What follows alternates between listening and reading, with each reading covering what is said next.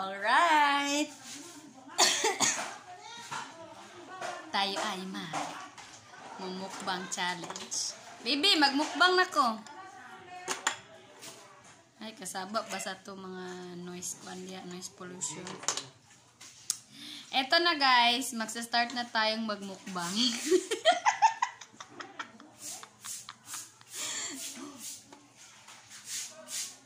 okay. Teka lang, tignan nyo muna pinakamasarap kong pagkain. Oh, di ba? Oh, wala yung makasuwidan na. Nakita na magdag mukbang ko guys ugasin. Wala. Why makasuwid? Ito say patindog sa nato sa tubangan sa ketchup. So first, pausa niyo yung sauce. Sauce ni siya sauce. Sauce. Ice. Sauce o ice. Yan. Gay, gay, gay. Katugnaw ba? Usab. Pero makabalaanan nyo sa lasa.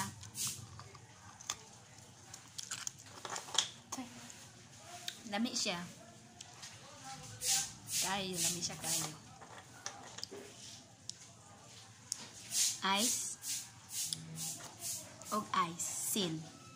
Ice, ice. Wala.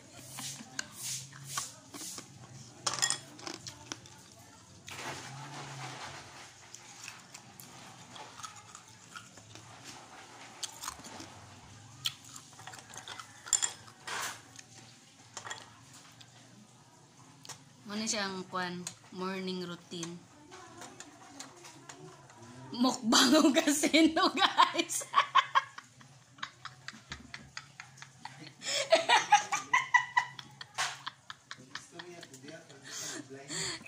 Gani.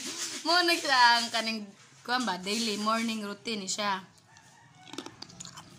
Ice og asim.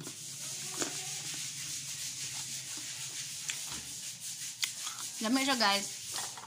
Mas lami pa sa milk tea.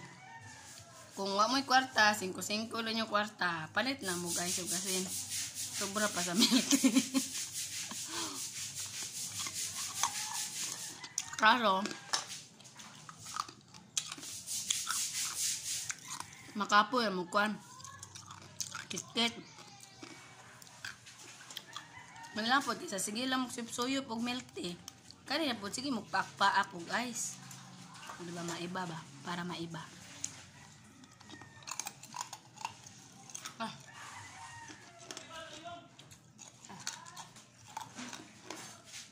Hmm. Dahil ba? Ano?